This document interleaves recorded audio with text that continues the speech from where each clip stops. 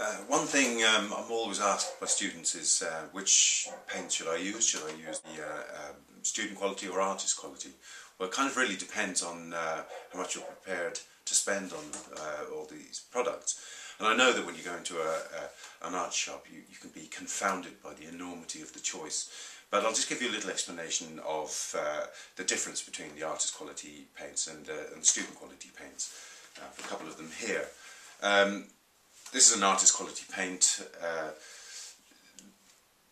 with the artist quality you get high pigment, pigment uh, levels uh, between, you know, there's a high uh, ra ratio between the pigment level and the, the binder, which means you get greater coverage.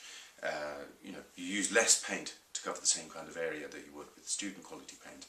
Um, often the pigments are more intense. Uh, for example, you know, real cadmium will will give you a very, very bright red. Um, whereas the student quality uh, paint would probably uh, use a synthetic pigment uh, and the coverage will be less intense. Um, the problem with uh, the artist quality paints is they're very expensive.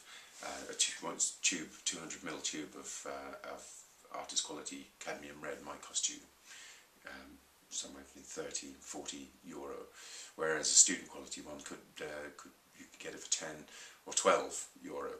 So uh, very expensive. The student, student paints have a, uh, a lower pigment load. As I said, the, the, quality, the pigments are synthetic, so they, they'll have a less, uh, less of a colour saturation. But there again, the prices are even across the range. You get a whole range of, uh, of paints, they'll all be the same price. And they've managed to do it that way because of these synthetic pigments. But having said that, I definitely use brand names. Uh, you know, for example, Winsor & Newton or Sennelier or uh, Daler-Rowney.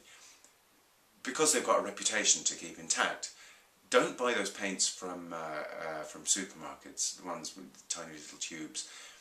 I think you could uh, you could go down a very frustrating uh, road.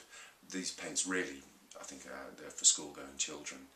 I really don't think they're worth buying. So stick to the brands. Um, I hope that's gone some way of explaining the, the difference uh, between the paints tube. And you can get perfectly good paintings out of student quality paints. Just be aware of, of, uh, of what you're actually using. And also, you could start a painting off with student quality paints and then finish it using uh, artist quality paints. You use very much less paint then. Okay? See you next time.